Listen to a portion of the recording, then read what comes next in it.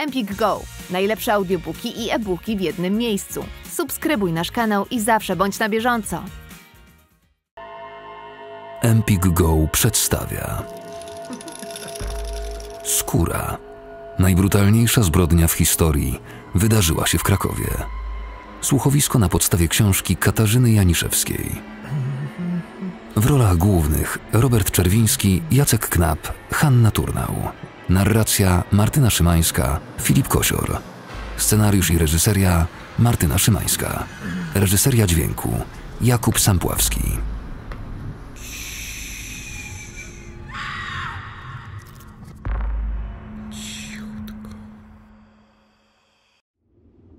Preludium. Stał przed lustrem kompletnie nagi. Bosymi stopami wyczuwał chłód wilgotnej, chropowatej posadzki. Pomieszczenie było dźwiękoszczelne. Nie było w nim okien. Nie docierały tu żadne odgłosy ze świata zewnętrznego. Żadne też nie mogły się stąd wydostać. Tutaj nie musiał się obawiać, że ktoś go podejrzy. Nie bał się nagłych wizyt nieproszonych gości. Mógł być pewien, że nikt mu nie przeszkodzi. Nie musiał się spieszyć. Zwisająca z sufitu żarówka była jedynym jasnym punktem w pomieszczeniu. Snop światła wyławiał z mroku lustro, przed którym stał. Patrzył na swoje odbicie z nieskrywaną odrazą. W tej konkretnej chwili, w tej postaci, nienawidził siebie. Ciało, w którym był uwięziony, napawało go obrzydzeniem. To nie było jego ciało. Na szczęście za moment wszystko się zmieni. Zacznie swój rytuał. Stanie się wreszcie sobą. Sięgnął po szminkę leżącą na niewielkiej szafce obok lustra. Krwistą czerwienią pokrył usta. Kilka razy zacisnął i rozluźnił wargi, by równomiernie rozprowadzić kremowy kosmetyk. Następnie ułożył je w dziubek, jak do pocałunku. Wyobraził sobie, jak lubieżne spojrzenia mężczyzn przesuwają się po nim. Niemal czuł je na swoim ciele. Ich ciężkie, gorące oddechy na swoim karku. Podoba mi ci się. Widzę to. Wsunął sztyft na powrót do plastikowej obwoluty i sięgnął po kolejne akcesoria. Starannie nałożył tusz na rzęsy i poróżowił policzki. Z szuflady komutki wyciągnął blond perukę. Lubił ten kolor u kobiet. Nasunął ją na głowę. Zakończył tym samym przedostatni etap maskarady. Już za momencik przejdzie do clue programu. Panie i panowie, szykuje się wielki finał. Już słychać fanfary. Jeszcze raz popatrzył na swoje odbicie w lustrze. Przymknął powieki. Wciągnął głęboko powietrze, by uspokoić oddech. Chciał smakować tę chwilę. Moment bezgranicznego spełnienia. Spokojnie. Tylko spokojnie. Odwrócił się i sięgnął do plecaka leżącego na krześle. Wyjął pakunek. Rozwinął go ostrożnie. Przez moment przyglądał się swojemu dziełu. O tak. Kostium, który udało mu się stworzyć, był idealny. Pogładził palcami miękką fakturę i sprawnie przełożył go przez głowę. Robił to nie pierwszy raz. Mierzył, przykładał do siebie. Upajał się tym widokiem. Chciał ją posiąść, otulić się nią jak ciepłym swetrem, opleść jej zapachem. Chciał ją chłonąć całym sobą. Chciał być nią. Nie tą konkretną osobą, tylko po prostu kobietą. Znów spojrzał w lustro. Poczuł przyjemny dreszcz podniecenia. Poczuł, jak krew odpływa mu z głowy, a członek robi się twardy. Musiał tyle czekać, włożyć tyle wysiłku, by wreszcie móc tego doznać. Tego, co innym przychodziło z taką łatwością, bez najmniejszego problemu. Zaczął masować sobie sutki, zamknął oczy, głowę odchylił do tyłu. Mamrotał do siebie, to go podniecało. Czuł rosnącą ekscytację. To powoli nadchodziło i rozlewało się ciepłem po całym ciele.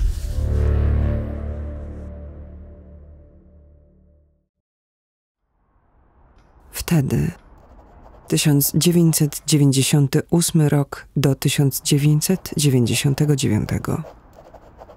A zatem, Joasiu, Joanną wolałabym. dobrze więc, Joanno, spróbuj się zrelaksować i powiedz, jak się czujesz. Nijak. Jestem tu dla ciebie, ale nie pomogę ci, jeśli nie będziesz chciała rozmawiać. Okej. Zróbmy tak. Ja będę mówił jakieś słowo, a ty dokończysz zdanie. Możemy? Proszę. Przychodzę tutaj, bo Mama się o mnie martwi, a ja nie chcę, żeby się martwiła. czuję się. To na nic. Nie, wcale nie. Dobrze nam idzie. Spróbujmy jeszcze raz. Czuję się, Pusta. Niczego nie czuję. gdybym mogła wszystko. Cofnęłabym czas. To ja zabiłam ojca. Joanno, posłuchaj, co mówisz. To jakiś absurd. Absurdem jest, że ja żyję, a on nie. To nieprawda i dobrze o tym wiesz. Ale przynajmniej zaczęłaś mówić. Dobrze, robimy postępy. Zatem kontynuujmy. W przyszłości Nie ma żadnej przyszłości. Nie ma nawet tu i teraz. Jest tylko to, co było.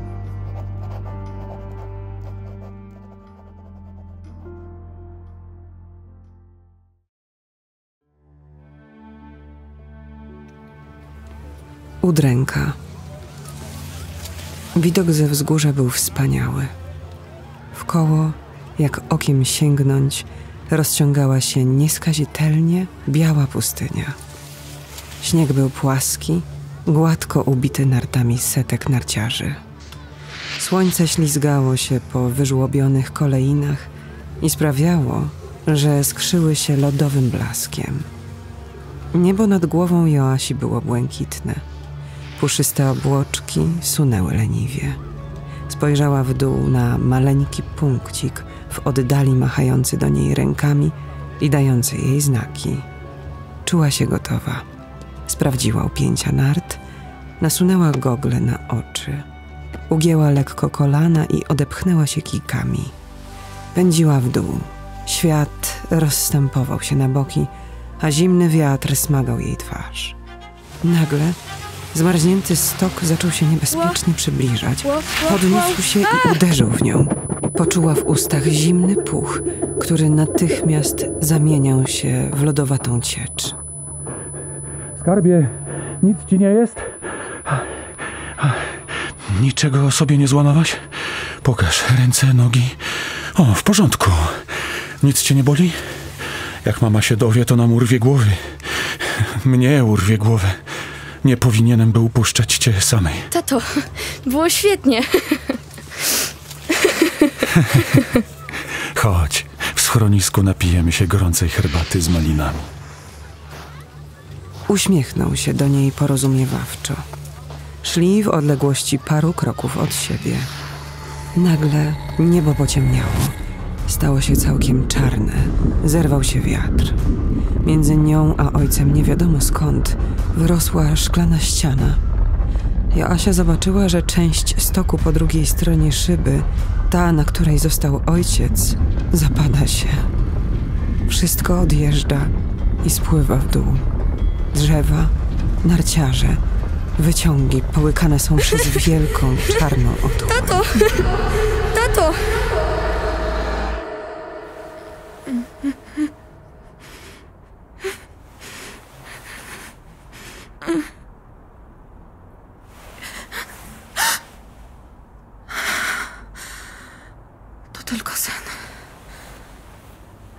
Poduszka była mokra od łez. Blady poranek zatrzasnął włas w podłodze, przez który wczorajszej nocy wtargnął sen. Joasia leżała w łóżku z otwartymi oczami. Po kolei poznawała kolorowe zasłony w oknach, widok na sąsiedni blok, swój pokój, siebie. Konstruowała nowy dzień. Jest wtorek, ósma rano. Co musi dziś zrobić? Dokąd iść? Z kim się spotkać? Zajrzyj do kalendarza, żeby sprawdzić, Joanno. Pora wstać. Wspomnienie snu wciąż było żywe. Ten sam sen śnił jej się prawie każdej nocy. Wieczorem bała się zasnąć. Rano długo nie mogła dojść do siebie. Przewróciła się na bok i przycisnęła policzek do poduszki. Nie spała już, ale nie chciało jej się wychodzić z ciepłej, pachnącej lawendą pościeli. Szczerze mówiąc, Od dawna już nic jej się nie chciało. Wpatrywała się w sufit, w rogu dostrzegła ukruszony kawałek tynku. Pewnie niedługo trzeba będzie pomalować.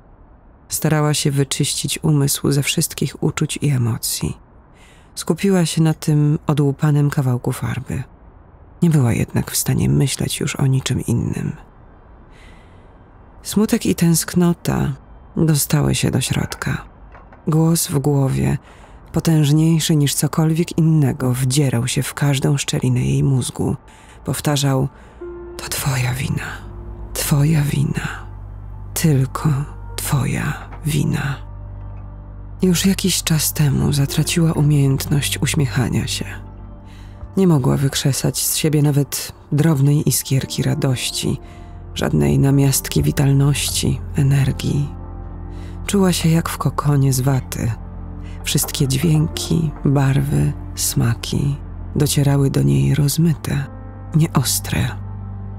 Jej ruchy były spowolnione, zdolność kojarzenia uległa upośledzeniu. Chciała uciec jak najdalej, ale przecież nawet w najdalszym zakątku świata nie byłaby wolna od siebie.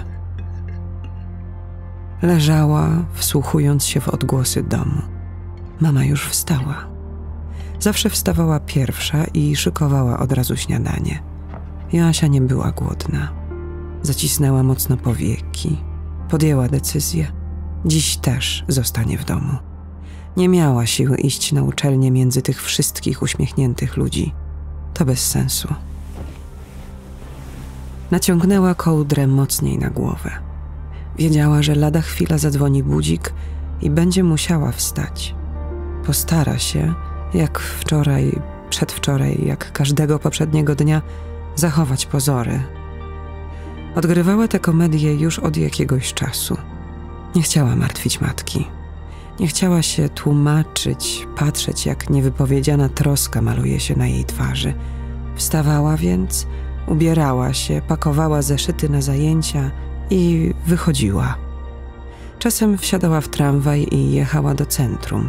Spacerowała po rynku, po plantach, nad Wisłą. Kraków to wymarzone miejsce dla emocjonalnych rozbitków. Wszystkich tych, którzy chcą przed czymś uciec, o czymś zapomnieć. Romantyczne, pocztówkowe. Najbardziej kochała go wiosną, kiedy natura budziła się do życia. W chłodnym, rześkim powietrzu unosiła się zapowiedź przyszłych, ciepłych, beztroskich dni. Słońce ślizgało się po wiśle, ozdabiając ją złotymi iskierkami. Lubiła przechadzać się urokliwymi uliczkami, chłonąć atmosferę miasta królów. To jedna strona Krakowa. Drugą były blokowiska z wielkiej płyty, ogromne sypialnie na obrzeżach miasta z napisami na murach Wisła Pany i Antyjudę. Szary dym z biało-czerwonych kominów elektrociepłowni w Łęgu, ławeczki, na których każdego roku wraz z nadejściem wiosny rezydował od świtu do nocy miejscowy lumpen proletariat. Tam też się zapuszczała. Czasem, nie za często. Niekiedy, gdy była pewna, że mama nie wróci w ciągu dnia do domu, tylko się ubierała, pozorując przygotowania do wyjścia na uczelnię. Kiedy za matką zamykały się drzwi, wracała do łóżka, wegetowała. Tak bardzo chciała nie czuć. Joasiu! Joasiu, wstawaj, bo spóźnisz się na zajęcia. Wstaję, mamo. No raz, raz, raz, Asieńko. Kochanie, zostawiam cię na stole kanapki. Nie zapomnij zabrać. Usiadła na łóżku, wsunęła stopy w pantofle i narzuciła na siebie szlafrok. Frotę, ciepły, puszysty. Dostała go na którąś gwiazdkę od ojca. Hmm. Jak tam? Wyspałaś się? Masz dziś dużo zajęć. Pamiętasz, że po południu jesteśmy umówione do lekarza? Mama była psychologiem. Wierzyła, że rozmową można uleczyć duszę. Zapisała ją na terapię. Pamiętam, ale mówiłam ci, że to niepotrzebne. Sama sobie poradzę. Kochanie, Chcę tylko, żebyś spróbowała. Daj sobie szansę. No. Muszę lecieć, bo się spóźnię.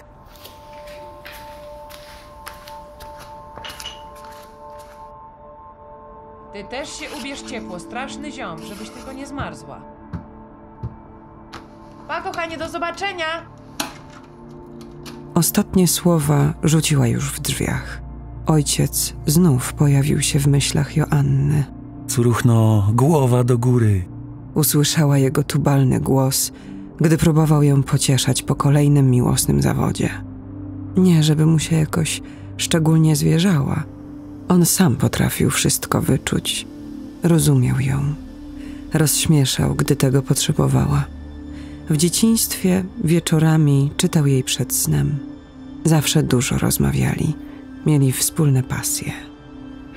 Góry są piękne, Asieńko, dzikie i nieokiełznane, niebezpieczne, nie podporządkowują się nikomu. Za to je kocham. Ta cisza, spokój, widoki, powietrze krystalicznie czyste, rześkie tak, że przy pierwszych wdechach masz wrażenie, że rozsadzi ci płuca i absolutna wolność. Tam na górze czuję się wolny i szczęśliwy. Też to poczujesz, też je pokochasz. Wszystko było takie, jak mówił. Ogarnęła ją słabość. To jej wina. Gdyby tak nie namawiała go na tę cholerną wyprawę wspinaczkową. Ojciec tak bardzo go kochała. Już raz była całkiem blisko tego, żeby się z nim spotkać. Nie planowała, to się wydarzyło samo. Przełożyła nogę przez metalową barierkę mostu, później drugą. Mocno złapała się poręczy, spojrzała na płynącą w dole rzekę. Poczuła powiew chłodnego wiatru na twarzy. Zamknęła oczy i nabrała głęboko tchu. Za chwilę będzie po wszystkim. Wystarczy zrobić maleńki krok do przodu i zwolnić uścisk. To proste. Na trzy. A jednak dłoń nie chciała puścić barierki. Ciało oddzieliło się od głowy i przestało jej słuchać. Nawet tego nie potrafię zrobić. Jestem beznadziejna. Zacisnęła mocno powieki i ukryła twarz w dłoniach. Maria zamknęła drzwi i przekręciła klucz w zamku. Wychodziła z domu z ciężkim sercem. To trwało już zbyt długo. Kto, jeśli nie ona, mógł o tym wiedzieć lepiej? Od lat pracowała jako psycholog dziecięcy. Z łatwością rozpoznawała depresję u własnej córki. Symptomy były oczywiste, wręcz książkowe, aż nadto wyraźne. Joasia nie chciała jeść, źle sypiała, miała problemy z koncentracją. Schudła, jakby przygasła, przybladła. Nie cieszyła się z niczego, co wcześniej dawało jej radość. Tak bardzo chciała jej pomóc. Zrobiłaby wszystko dla swojej ukochanej córeczki, swojej jedynaczki, jej Asieńka. Bardzo się zmieniła. Jako dziecko była pogodna, roześmiana, pełna energii. Zaczęła dorastać, nabrała do wszystkiego dystansu. Stała się zamknięta w sobie, cicha i spokojna, łagodna. W tym jednak Maria nie dopatrywała się niczego groźnego. Jej córka była introwertyczką i tyle. Wrażliwym jest w życiu trudniej, ale co poradzić? A później zdarzył się wypadek. To ją całkiem załamało. Piotr lubił chodzić po górach, Karkonosze, Tatry, Bieszczady. Zaliczył wszystkie szczyty, znał na wylot schroniska. Zaraził pasją córkę. Gdy dorosła, zabierał ją ze sobą. Joasia z błyszczącymi oczami i wypiekami na twarzy opowiadała później o tych wypadach. Uwielbiała je i Maria nigdy nie próbowała jej tego zabronić, choć nieraz się o nią bała. To się mogło zdarzyć w każdym innym momencie, podczas każdej innej wyprawy, ale zdarzyło się akurat wtedy. I odebrało Joasi chęć do życia. Zobojętniała. Przestała zwracać uwagę na cokolwiek. Przestała nawet czytać. Nie chciało jej się nigdzie wychodzić. Kiedyś godzinami mogły rozmawiać o obejrzanym filmie, sztuce teatralnej, przeczytanej książce. Joasia była fantastyczną partnerką do dyskusji. Dojrzałą, inteligentną, wymagającą i inspirującą. Teraz ledwie odpowiadała na pytania. Wracała z zajęć, zamykała się w swoim pokoju i włączała muzykę. Maria czuła się kompletnie bezsilna. Ale jak uwolnić człowieka od jego własnych myśli, od lęków, od poczucia winy? Kompletnie urojonej, bo przecież to nie była wina Joasi. To był po prostu nieszczęśliwy wypadek. Straciła męża, a teraz bezradnie przyglądała się temu, jak traci córkę. Joasia pogrążała się w swoim świecie smutku i cierpienia, winy, którą sobie wmówiła i kary, którą chciała ponieść. Była z ojcem bardzo blisko. Śmieszyły ich te same rzeczy, to samo ich denerwowało i wprawiało w zachwyt. Byli tacy podobni, identyczni. Asia zwierzała się tacie ze swoich problemów. Maria zastanawiała się, czy nie mówi mu więcej niż jej. Wyczuwała tę niewidzialną nić porozumienia między nimi. Ona tak naprawdę stała trochę z boku, ale nie miała im tego za złe. Ostatnio wydawało się jej, że to mija, że najgorsze mają już za sobą, że Asia kogoś poznała mężczyznę. Zaczęła o siebie dbać, przeszła na dietę, przefarbowała włosy. Nie wypytywała córki, żeby jej nie peszyć. To rozsądna dziewczyna. Nie zrobi żadnego głupstwa. Oto była spokojna. Przyspieszyła kroku, żeby nie spóźnić się do pracy.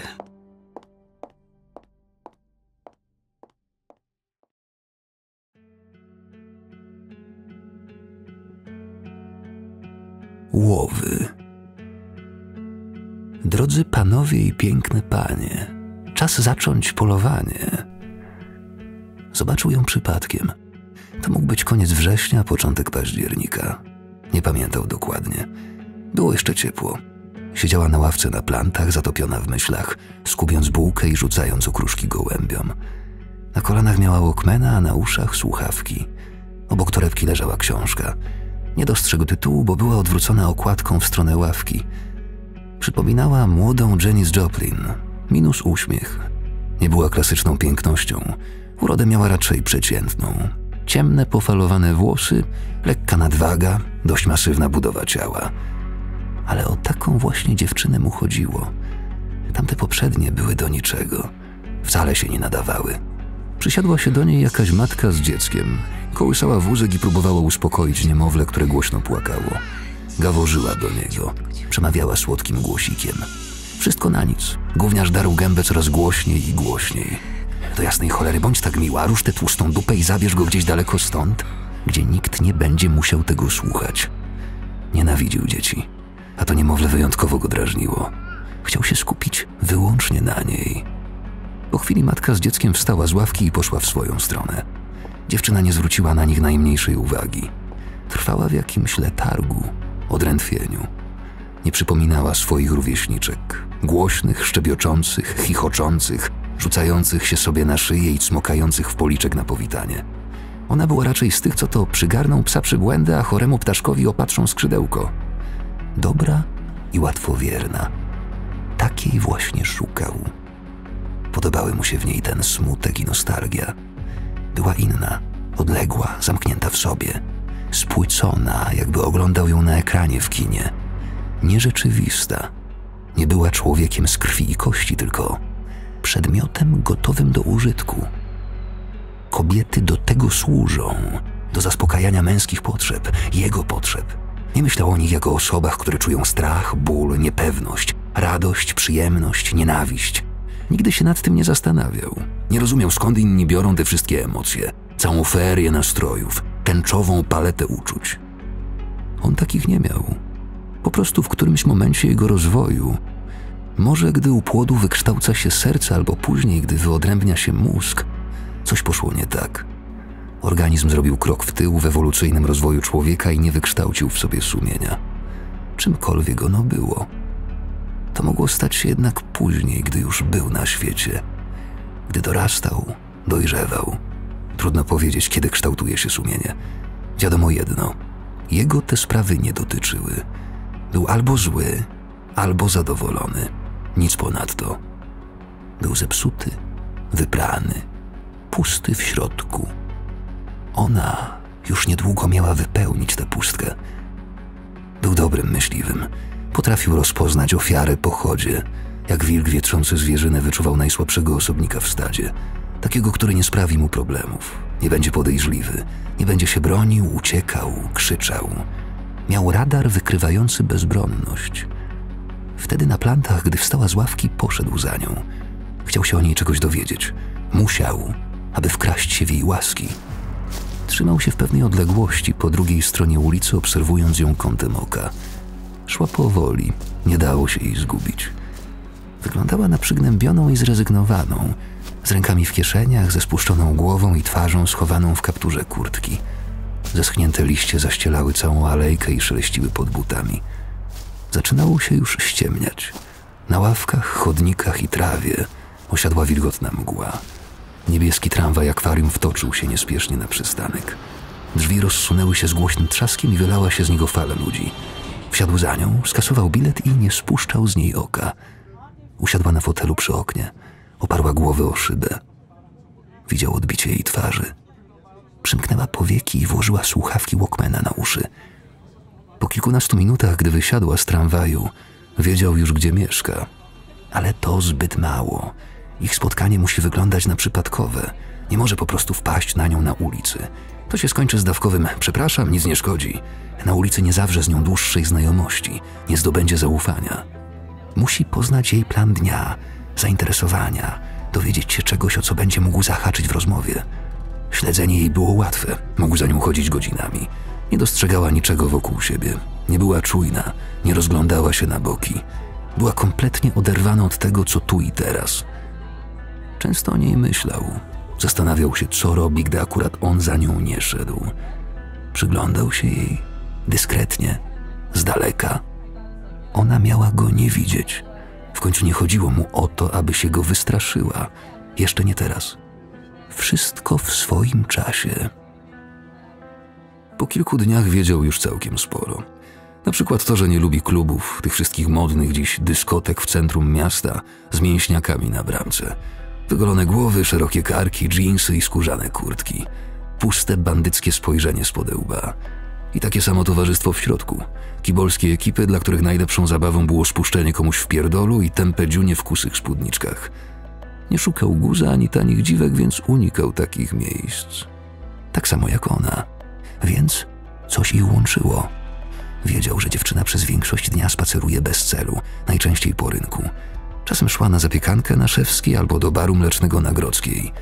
Niekiedy zaglądała do księgarni, wertowała tomiki poezji, najnowsze książki. Bywała też w kinie pasaż na samotnych seansach filmowych. Nie wchodził za nią. To było dość ryzykowne. O tej porze na sali nie było zbyt wielu kinomanów. Za bardzo rzucałby się w oczy. Czekał, aż seans się skończy. Czasem, choć rzadko, pojawiała się na uczelni. Musiała więc studiować. Próbował zgadywać, co to za kierunek. Psychologia, pedagogika, polonistyka? Po zajęciach nie spotykała się z nikim. Nie chodziła z przyjaciółmi na piwo. Jakby wcale nie miała życia towarzyskiego. Odkrył za to, że regularnie pojawiała się na studenckiej giełdzie płytowej. Młodzi ludzie wymieniali się tam nagraniami ulubionych zespołów. To mógłby jakoś wykorzystać. Pewnego razu dowiedział się jednak czegoś znacznie ważniejszego. Tego dnia nie pojechała na rynek, jak miała w zwyczaju. Poszła na cmentarz. Gdy odeszła od grobowca, podszedł bliżej. Przeczytał wyrytą na marmurowej płycie inskrypcję: Ukochany mąż i ojciec odszedł tragicznie w wieku 49 lat. Poczuł, że ma nad nią przewagę. Teraz już mu się nie wymknie. Wiedział, jak to zrobić: otworzyć człowieka, zdobyć jego zaufanie. Wystarczy, że opowiesz mu historyjkę o sobie, najlepiej z rodzaju tych ckliwych, i masz go na widelcu. Taka bezinteresowna szczerość wymaga rewanżu. Opowiedziałeś mi o sobie, to posłuchaj, teraz ja ci się zwierzę. U większości ludzi, u tych z sumieniem, myśli i emocje malują się na twarzy. To dlatego tak łatwo można rozszyfrować ich zamiary. On miał jedną zasadniczą przewagę nad innymi. Doskonale potrafił uchodzić za kogoś, kim nie był. To była gra, a on był dobrym graczem, zręcznym manipulatorem. Najważniejszy jest blef, zmyłka. Robisz jedno, a twoja ofiara widzi coś zupełnie innego. Nie zdaje sobie sprawy, że jest w samym środku rozgrywki. Zaczepił ją na uczelni. Niby przypadkiem, mimochodem. Przepraszam, y, chyba poszedłem nie w tę stronę, w którą powinienem. Y, Szukam Wydziału Historii. Czy mogłabyś mi pomóc, bo skręciłem w lewo, a... Yy, a powinieneś skręcić w prawo. Miniesz szklane drzwi, pójdziesz korytarzem do końca i będziesz na miejscu.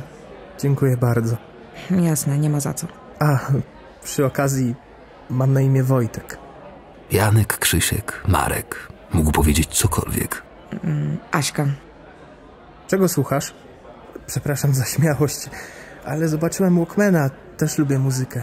Raczej i tak nie znasz, nie są zbyt popularni w Polsce. Grateful Dead. Wdzięczny nieboszczyk. Coś w tym stylu. Pewnie trudno dostać ich płyty. Nie jest łatwo. Poluję na nie pod przewiązką. O, też tam bywam. Może się kiedyś spotkamy. Ech, dzięki raz jeszcze. Cześć. Ich światy nawet w najmniejszym stopniu się nie przenikały. Były dwoma kompletnie odrębnymi zbiorami doświadczeń, postaw, pragnień. Jej spokojne i bezpieczne dzieciństwo kontra jego pozbawione miłości i opieki dorastanie. Kulturalna i rozsądna Joasia była wychowywana w kulturalnym domu przez kulturalnych, wykształconych rodziców. Matka wieczorami siadała przy nocnej lampce i czytywała Kępińskiego, Zimbardo, Freuda. Ojciec był nauczycielem. Gdy wychodził z roli Belfra, stawał się człowiekiem pełnym werwy i polotu. Z Joasią łączyło go poczucie humoru, podobne spojrzenie na wiele spraw. Oboje rodzice zaszczepili w niej łagodność i pogardę dla przemocy. Dbali, by ich jedynaczka była otwarta na ludzi, rozumiejąca i współczująca. Starali się nie przekazywać jej lęku ani podejrzliwości w stosunku do otaczającego świata, w myśl zasady, że dobra energia wraca i jeszcze tej, która mówiła: Traktuj ludzi tak, jak sama chciałabyś być traktowana. Nigdy na nikogo nie spoglądali z góry. Ludzie są sobie równi, każdemu należy się szacunek, mawiali. Joasia popołudniami odrabiała zadania domowe w swoim pokoju. Słuchała muzyki, chodziła na lekcje gry na gitarze. Do domu wracała o ustalonej wcześniej porze. Nie sprawiała wychowawczych kłopotów. Latem jeździli całą rodziną do domku na Mazurach, gdzie w ciepłe, słoneczne dni pływali w jeziorze, a wieczorami rozpalali ognisko, śpiewali, śmiali się i biesiadowali. Dlatego, kiedy tamten mężczyzna zagadnął Joasię, nie kierowała nią przesadna ostrożność. Trudno u kogoś doszukiwać się intencji, które są nam zupełnie obce, którymi my nigdy byśmy się nie pokierowali. Człowiek jest w stanie przewidywać przyszłość tylko na tyle, na ile pozwala mu jego doświadczenie. Joasia miała doświadczenia dobre. Cześć. I co, udało się znaleźć coś Grateful Dead? Cześć. Yy, skąd wiesz, my się znamy? Poznaliśmy się na uczelni. Nie pamiętasz mnie. Teraz sobie przypominam, przepraszam. Nic nie szkodzi. To jak? Znalazłaś coś godnego uwagi? Mam dwie fajne kasety. O, proszę. Fantastycznie. To może uczcimy udane łowy? Dasz się zaprosić na herbatkę i ciastko?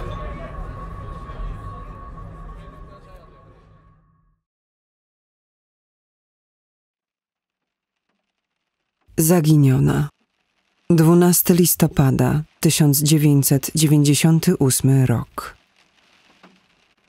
Nie myli się ten, kto twierdzi, że listopad to najbardziej depresyjny miesiąc w roku. Dzień chyli się ku końcowi, nim na dobre się zacznie. Ciepłe promienie słońca są już tylko wspomnieniem, a wisząca w powietrzu mgła odbiera miastu resztki urody, przykrywając jesienne żółcie, brązy i czerwienie brudnym welonem słoty i szarości. Za oknem od kilku dni zacinał deszcz ze śniegiem. Nabrzmiałe, ciężkie od wody stalowe chmury wolno przesuwały się po niebie. Chłód spowodowany mrzawką przenikał do szpiku kości. Ulice i chodniki tonęły w błocie. Na parapecie za oknem przysiadły dwa zmoknięte gołębie. Stroszyły piórka, otrzepując z nich krople deszczu. Ich gardłowe gruchanie wdzierało się przez szybę do środka. Joanna nacisnęła przycisk play w magnetofonie. Czarne szpule kasety zaczęły się kręcić. Z głośników popłynęła muzyka. Dziwna, niepokojąca. Wokal nie współgrał z linią melodyczną, był obok. Dźwięki walczyły ze sobą, a jednak mimo tego pozornego niedopasowania razem tworzyły miłą dla ucha kompozycję. Kiedy przyjdą po ciebie z wizytą i powloką twoje biedne ciało w dół, tylko o jedno proszę cię, tylko jedną rzecz dla mnie zrób, proszę. Zapomnij, że znasz moje imię, kochany cukiereczku. Snuła się po mieszkaniu bez celu, zastanawiając się, kiedy wreszcie skreślę ją z listy studentów. Jak tak dalej pójdzie, to pewnie niebawem. Kolejne studia, z których nic nie będzie. I znów to samo. Tym razem też rozczaruje mamę. Przerabiała to już. Dotychczasowe lata życia wydały się jej teraz kompletnie bezsensowne. Jak drzewa, które nie chcą owocować. Dwadzieścia trzy jabłonie, jedna za drugą w równym rzędzie. Ich puste gałęzie z czasem usychały i łamały się. Najpierw zdecydowała, że będzie studiować psychologię. Podobno na psychologię idą często ci, którzy mają problemy, chcą zrozumieć siebie. Szybko przekonała się, że to nie dla niej. Zmieniła kierunek studiów. Postawiła na historię, ale zaczęło ją to nużyć. Nie widziała w tym przyszłości. Pomyślała, że może powinna iść na jakiś kurs fryzjerski albo pielęgniarski, taki, po którym szybko znalazłaby pracę. Zarzuciła jednak ten pomysł, uznając, że lepiej wyjechać, kiedy jeszcze może. Podróżować po Europie, zdobyć jakieś doświadczenie. Nie, to też nie. Podróże są kosztowne. Więc może zamieszkać na rok, dwa we Francji, zaczepić się jako kelnerka w urokliwej kawiarence i nauczyć się dobrze języka? Plany lęgły się w jej głowie, ale nie mogły zakotwiczyć na dobre. Zaraz znowu zmieniała zdanie. Postanowiła wrócić na uczelnię. Tym razem wybrała religioznawstwo. Przez chwilę miała zapał. Wydawało się jej, że da radę, ale nic z tego. Na wykładach wyłączała się. Po dwóch minutach nie słuchała już, co mówi wykładowca. Zaległości szybko narastały. Nie miała siły ich nadrabiać. Przepisywanie notatek, wkuwanie do głowy regułek to wszystko wydawało jej się tak mało istotne. Rezygnowała. Może pójdzie na zajęcia jutro? Zastanawiała się nad tym, kiedy tak naprawdę była szczęśliwa. To było dzieciństwo. Tylko dzieciństwo było bez wątpienia radosne, nie podszyte żadną fałszywą nutą. Potrafiła nawet przypomnieć sobie ostatni moment prawdziwej beztroski. Miała dwanaście lat. Ojciec zabrał ją na stok i uczył jeździć na nartach.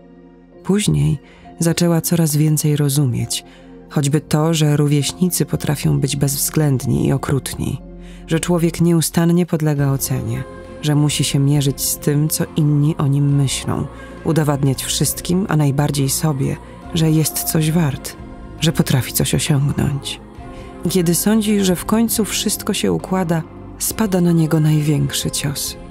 Zawsze znienacka, gdy się tego nie spodziewa. Na chwilę tracisz czujność, nie wypatrujesz najgorszego, tylko uśmiechasz się radośnie i wtedy bum, masz za swoje. To dlatego zrobiła się impregnowana na szczęście. Wolała nie prowokować losu. Jednego była pewna: nic już nigdy nie będzie takie samo. Czasy beztroski, lekkości ducha, jasnych myśli i nadziei na to, co przyniesie kolejny dzień, minęły. To wszystko nie należało już do niej. Było daleko z tyłu. Nie, nie pójdzie na wykłady ani jutro, ani pojutrze. Ostatnio nie czuje się dobrze.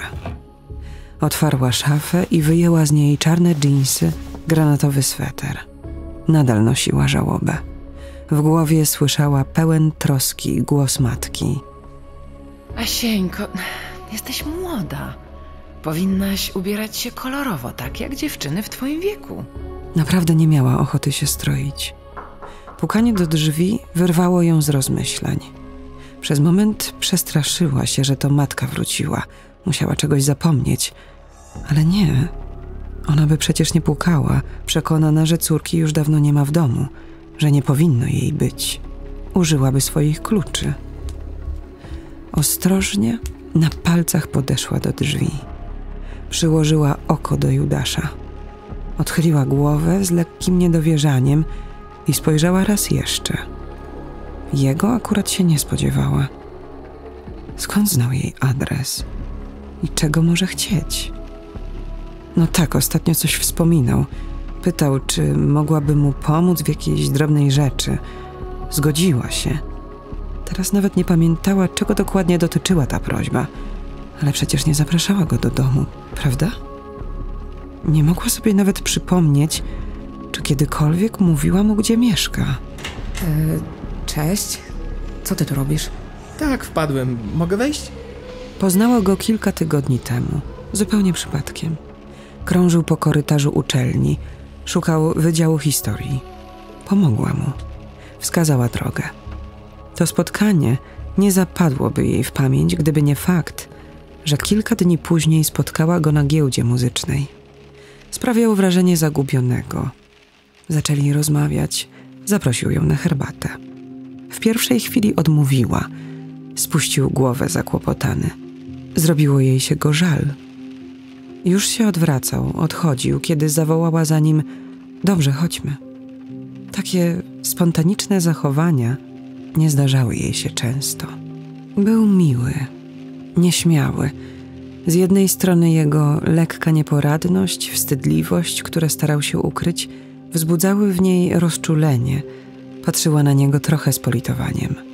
Z drugiej strony, w jego towarzystwie czuła się niepewnie. Nie potrafiła mu się sprzeciwić. To były dziwne uczucia, tak krańcowo różne. Polubiła go. Może nawet trochę się w nim zadłużyła. To nie była miłość, raczej zauroczenie.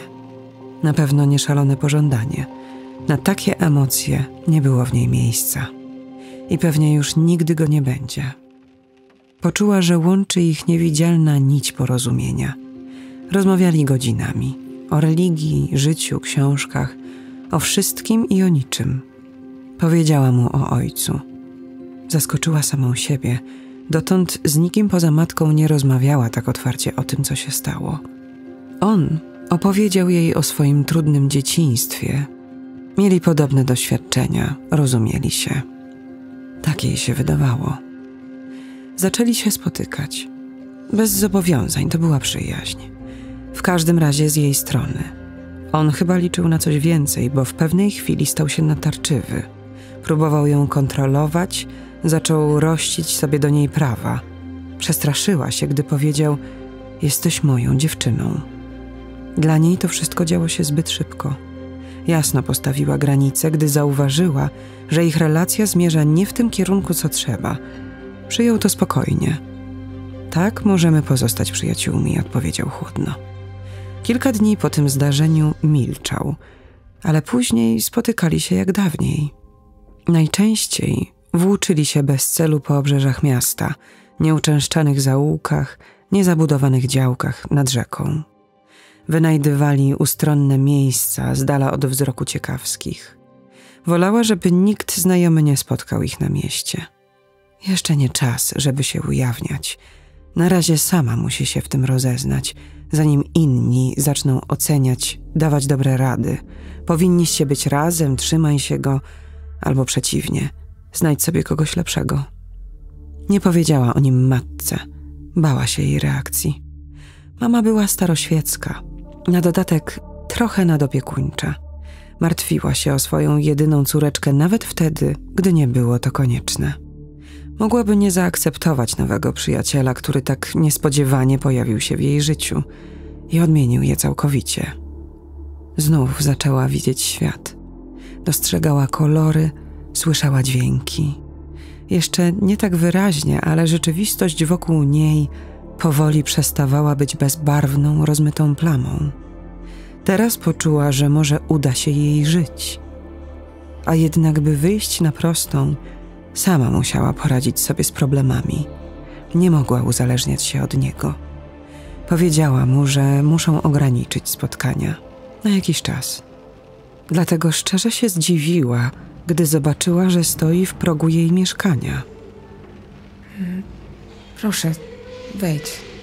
Dziękuję. Jakieś ukłucie, zimny prąd przeszedł jej po kręgosłupie. Nieznane wcześniej nieprzyjemne uczucie. Coś dziwnego dostrzegła w jego oczach. Źle ze mną. Zaczynam wariować, pomyślała. Przywołała się do porządku i zapytała: Może herbaty? Chętnie. Ostry, przenikliwy wiatr zatrząsł wierzchołkami drzew. Maria już prawie godzinę stała przed osiedlową przychodnią. Postawiła kołnierz ciemnego, długiego płaszcza, osłaniając twarz i chroniąc się przed chłodem. Mimo to dojmujący ziąb i tak wdarł się pod ubranie, wywołując gęsią skórkę. Raz po raz odchylała rękaw, by zerknąć na zegarek. Zaczęła energicznie przechadzać się w te i z powrotem. Nawet z daleka było widać, że jest zdenerwowana i że na kogoś czeka.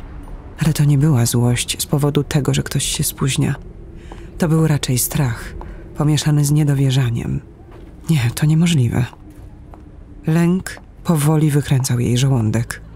Jeszcze niepewność, na razie tylko przeczucie, które zaczynało jej ciążyć, jakby połknęła zimny, mokry kamień. Czuła, jak narastający strach podchodzi jej do gardła. Starała się nie dopuścić go do siebie, nie pozwalała mu zawładnąć sobą do końca, ale czuła to. Matki tak już mają. Coś było nie tak. Joasia nigdy nie spóźniała się na umówione spotkanie. Była bardzo słowną, dojrzałą i odpowiedzialną dziewczyną. Tym bardziej w tak ważnej sprawie jak teraz, kiedy razem miały iść do lekarza. Już dawno temu umówiły termin wizyty. Zegarek pokazywał siódmą. Maria weszła do przychodni, aby skorzystać z wiszącego na ścianie automatu. Przepraszam, nie widział pan może młodej dziewczyny, blondynki, cała ubrana na czarno. Nie, nie widziałem tylko. A może pani? Taka niewysoka. Może coś mówiła, może szukała mnie.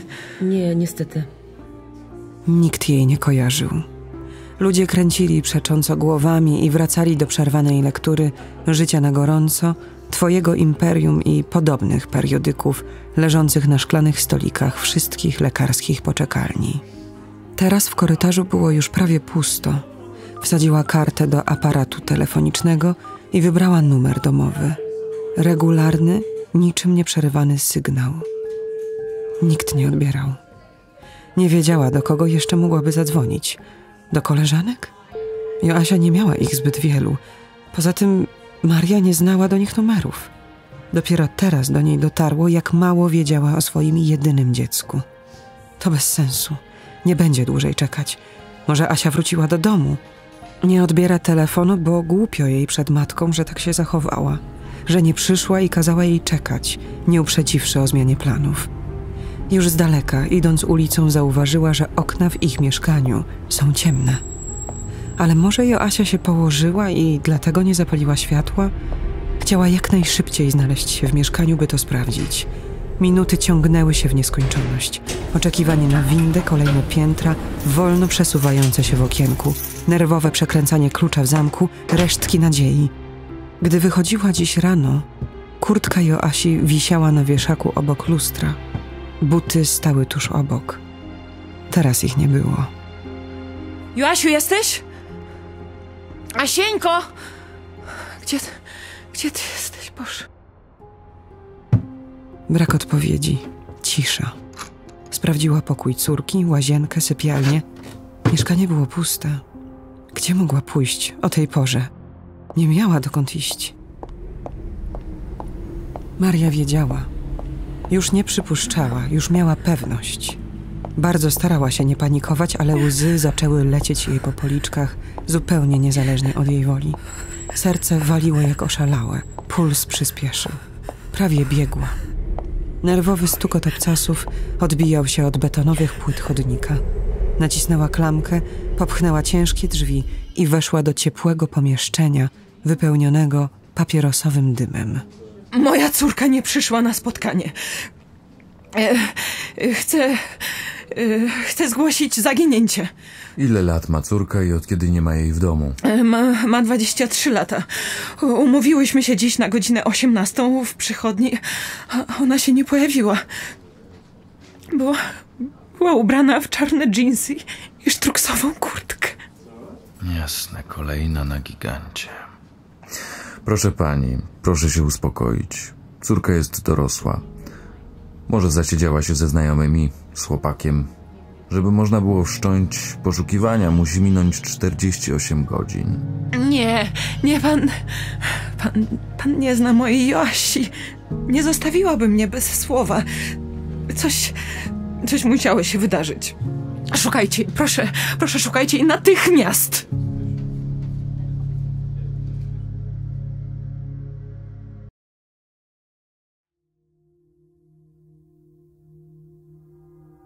Interludium. Fantazjował o tym nieraz. To wszystko, co działo się w tej chwili, wydarzyło się już wielokrotnie w jego głowie. Teraz nic się nie zmieniło, z wyjątkiem tego, że działo się naprawdę. Widział wcześniej, jak jej to robi. W jego myślach te obrazy pojawiały się codziennie. Rozbudowywał je, przerabiał, modyfikował, dostosowywał do nastroju. Każdą scenę rozbierał na czynniki pierwsze. Smakował. Stworzył scenariusz, którego on był jedynym autorem. Ona była tylko przedmiotem. Nie miała wpływu na to, co działo się w tym przedstawieniu. Miała się dostosować. Miała tylko być. Posłuszna i bezwolna. Tymczasem opór. Nie spodziewał się u niej tego. Nie był na to przygotowany. Sytuacja zaczęła mu się wymykać spod kontroli. Zupełnie nie potrafił się zachować. Brakowało mu wprawy w łagodzeniu konfliktów. Nikt go tego nie nauczył. Wiedział jedno: wygrywa silniejszy. Tej zasady zawsze się w życiu trzymał. Gdy kilka tygodni temu powiedziała: Nie możemy się tak często spotykać, coś w nim pękło. Ma innego, przyszło mu do głowy. Rzuca go jak pierwszego lepszego śmiecia dla jakiegoś frajera. Pewnie bogatszego, lepiej wykształconego, przystojniejszego. To się dla niej liczy. Nie żadne pokrewieństwo dusz. Od początku go okłamywała. Wszystkie kobiety są brudne i zepsute, nie warte jego zainteresowania. Ona również. Niech nie liczy na specjalne traktowanie. Zawiodła go, rozczarowała. Och, jak bardzo się na niej nie poznał. Naprawdę sądził, że jest inna. A ona okazała się być taka sama jak wszystkie. Wystawiła go na pośmiewisko, odrzuciła. Wydawało mu się, że się rozumieją. Uwierzył, że mogą być razem. Nawet zaczął coś do niej czuć. Chyba. Oboje byli samotnikami. Dwie zagubione dusze, które w końcu się odnalazły. Po tych wszystkich wcześniejszych niepowodzeniach, afrontach ze strony kobiet, ona miała być tą jedyną. Tak wiele chciał jej dać. Wszystko, całego siebie, czy to mało? Powinna być mu wdzięczna. Dbałby o nią, opiekowałby się nią. Miałaby z nim dobrze. Wystarczyło, że będzie robiła, co jej każe. Kobieta powinna być przecież posłuszna mężczyźnie. Tak już jest na tym świecie. Nie chciała. Dlatego musi zapłacić za tę zniewagę. Musi cierpieć tak samo jak on. Albo nawet bardziej. Dziś rano się zdenerwował. Nie wszystko poszło zgodnie z planem. Dostrzegł niej jakiś dystans, wahanie, których wcześniej nie widział. Chwilę trwało, zanim namówił ją na wspólne wyjście z domu. Szukała wymówek, a on bał się, że lada moment ktoś zapuka do drzwi. Wróci matka, albo że ona każe mu iść, cokolwiek. Bał się, że zaraz wszystko się rozleci i cały misterny plan szlak trafi. Problem w tym, że kiedy człowiek się boi, zaczyna popełniać błędy. Zastanawiał się, czy on ich nie popełnił, czy ktoś nie zwrócił na nich uwagi, czy nie zostawił po sobie jakiegoś śladu. Ale nie mógł już dłużej zwlekać. Chciał doświadczyć spełnienia tu i teraz. Jakie to szczęście, że ludzie narzucają sobie tyle ograniczeń. Zagłuszają w sobie instynkt samozachowawczy i pozwalają rządzić ustalonym normom społecznym. Czyli nie wygłupiaj się, nie panikuj, on nic ci nie zrobi, znacie się, przyjaciele się nie krzywdzą, zrobisz z siebie idiotkę. Normy społeczne są skuteczne, o ile wszyscy się do nich stosują, a on nie miał takiego zamiaru.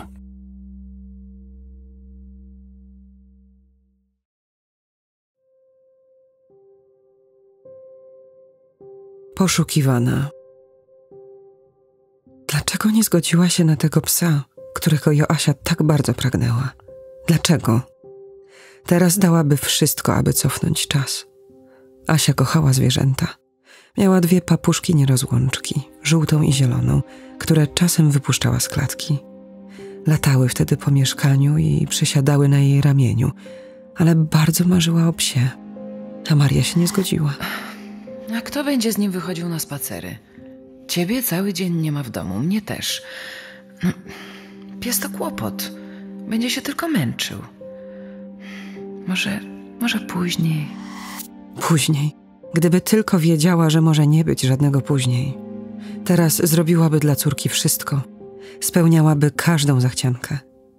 Jak tylko wróci, kupią psa. Jakiego Joasia zechce. Wielkiego labradora albo Bernardyna, wszystko jedno. Niech tylko wróci. Mijał kolejny tydzień, a Joasi nie było. Maria odchodziła od zmysłów. Od początku czuła, że ten młody policjant nie potraktował jej poważnie. Dla niego Asia była tylko kolejną zaginioną, numerkiem w ewidencji. Zdenerwował ją. Naprawdę była na niego wściekła.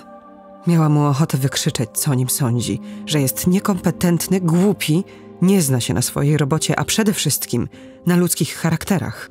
Proszę się nie denerwować. Córka niebawem wróci. Może pojechała gdzieś ze znajomymi. Większość zaginionych zwykle się znajduje. Większość zwykle to znaczy ilu? A co z tymi, którzy się nie znajdują?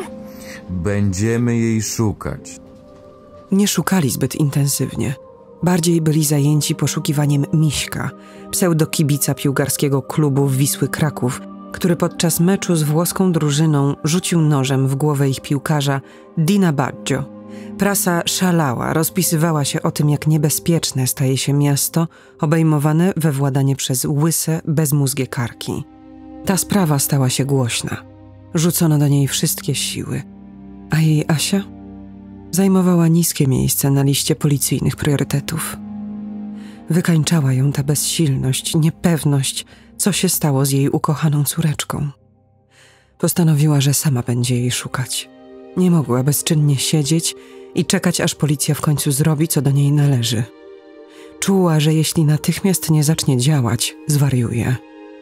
Przede wszystkim myślała, trzeba rozwiesić plakaty na mieście, gdzie tylko to możliwe, dać ogłoszenie do prasy, porozmawiać z przyjaciółkami Joasi. Może one coś wiedzą. Joasia jest zamknięta w sobie, niechętnie zwierzała się z problemów, ale może wymknęło jej się jakieś słówko, uwaga, która pomogłaby skierować poszukiwania na właściwy trop. Gdy wcześniej słyszała, że ktoś zaginął, wyszedł z domu i nie wrócił, zastanawiała się, jak to możliwe. Człowiek idzie do kiosku po paczkę papierosów i nagle znika. Często w biały dzień, parę kroków od domu. Nie można przecież zapaść się pod ziemię i to w ciągu krótkiej chwili. A jednak nikt nic nie widział, nikt nic nie słyszał, jakby tego człowieka nigdy nie było. Co gorsza, nie istniał żaden algorytm, który by wyliczył, ten jest bardziej narażony na zniknięcie. Temu nigdy się to nie przytrafi, bo robi tak, tak i tak. Nie zależało to ani od wykształcenia, ani pozycji społecznej czy zawodowej. Zawsze ją przerażało, że to może przydarzyć się każdemu. Zupełnie niespodziewanie, bez żadnego ostrzeżenia. Każdego roku w Polsce kilkanaście tysięcy osób przepadało bez wieści. 90% z nich odnajdywało się w ciągu miesiąca. Ale co się działo z resztą? Wolała nie odpowiadać sobie na to pytanie. W ilu przypadkach była to własna wola człowieka i jego decyzja, że postanawia zatrzeć po sobie wszelki ślad i zacząć nowe życie? Zostawić ubrania w szafie, niedopity kubek herbaty, pranie w miednicy, zamartwiającą się rodzinę i wystartować całkiem od zera. To jakby urodzić się na nowo, z czystą kartą. Pewnie tak się dzieje, gdy człowiek nie może znieść życia, w którym tkwi. Ucieka od czegoś. Ale coś takiego nie było w stylu Joasi. Nie zostawiłaby Marii bez słowa. Wiedziała, że matka będzie umierać ze strachu. Kochają się. Córka nie naraziłaby jej na taki stres. Napisałaby przynajmniej na kartce: Nie szukaj mnie, nic mi nie jest. Coś w tym stylu. Czy to możliwe, że coś sobie zrobiła? Maria bała się tego nie raz. Patrząc w oczy córce, starała się zajrzeć w jej duszę, przejrzeć plany, zamiary. Niczego nie była pewna. W depresji człowiek nie jest sobą. Robi rzeczy, na które nie poważyłby się normalnie. Choroba zmienia jego psychikę, odbiera właściwą percepcję rzeczywistości. Joasia mogła mieć wypadek, ale w takim razie już by ją znaleźli. Gdzieś by była. A przecież Maria sprawdziła wszystkie szpitale, dworce, noclegownie. Może Joasia straciła pamięć i nie wie, kim jest, ani gdzie mieszka. Jakimś zrządzeniem losu trafiła do innego miasta, gdzie nikt jej nie zna. Nikt nie wie, że to poszukiwana dziewczyna z plakatów. Telewizja. Musi iść do telewizji. Telewizję oglądają wszyscy. Ktoś zasugerował jej sektę. Tak, to prawdopodobne. Wielu młodych ludzi daje się złapać w sidła pseudoreligijnego wyzwolenia. Czas transformacji, nowych perspektyw, presji, że teraz albo nigdy coś trzeba wybrać, byle dobrze i mądrze. Nie wolno stracić szansy. Wielu boi się tej wolności. Wszystko zależy od ciebie, a więc to ty wszystko możesz zepsuć. Jej Asieńka zawsze była podatna na wpływy, a w ostatnim czasie doszło do tego rozchwianie emocjonalne. Mogła pójść tą drogą. Mogła? Maria już sama nie wiedziała, co myśleć. Ale to jakaś opcja. Skontaktowała się ze znajomymi księżmi, by dowiedzieć się jak najwięcej o sektach. Jakie są w Krakowie, gdzie działają, jak się do nich dostać i jak z nich uciec. Wynajęła detektywa. Jeśli ani ona, ani policja nie mogą znaleźć Joasi, być może on coś poradzi. A może to porwanie? Czy można uprowadzić dorosłego człowieka w biały dzień? Jak? Wszędzie kręci się mnóstwo ludzi. Gdyby nawet ktoś wciągnął Joasię do samochodu, jakaś przypadkowa osoba by to zauważyła. Asia nie wsiadłaby sama, tego była pewna, chyba że go znała. Chyba że jakoś ją podszedł, wziął na litość, poprosił o pomoc. Ale po co dla okupu? Nie są bogate ani wpływowe. Porywacz nic by na tym nie zyskał. Wariowała z niepokoju. Każdego ranka toczyła ze sobą walkę. Asi nie ma, więc nie ma powodu, by wstać z łóżka. Jej ukochana Asieńka zniknęła. Musi wstać z łóżka, żeby ją odnaleźć. Jej córka pewnie potrzebuje pomocy, a ona nie może nic zrobić. To najgorsze, co może czuć matka. Bezsilność. Przeczytała gdzieś, że kiedy dziecko jest z matką, jego anioł stróż ma wolne. Więc anioł stróż jej córki ma teraz pełne ręce roboty. Aniele stróżu, strzeż moją Joasię.